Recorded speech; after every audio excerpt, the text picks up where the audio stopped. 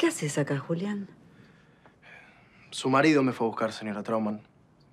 Dice que está muy enferma y no se quiere operar. Pero no, dice pavadas, no.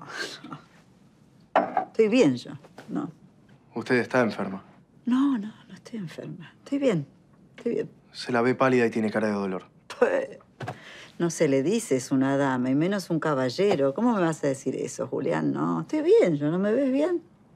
Me hace acordar a mi abuelo cuando se enfermó. ¿Papá se enfermó? ¿Qué pasó? Falleció hace tres meses. No sabía nada, Julián. No me dijeron nada. Lo siento mucho.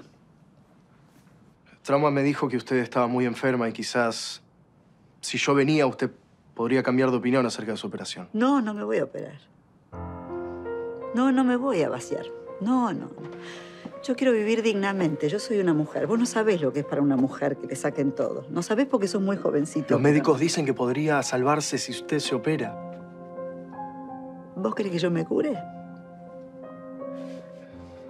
No sé. Eh, aunque todo el mundo me diga que está todo perdido y que los cafillos ganaron finalmente, quizás no pierdo esperanza en usted. Y si está enferma es de vivir en esta mure. Nadie es sano acá. ¿Vos crees que yo me cure? Hay dos caminos posibles. Si usted se va a dejar morir, quizás pueda hacer algo bueno antes de irse. Y la otra salida es operarse. Opérese. Julia.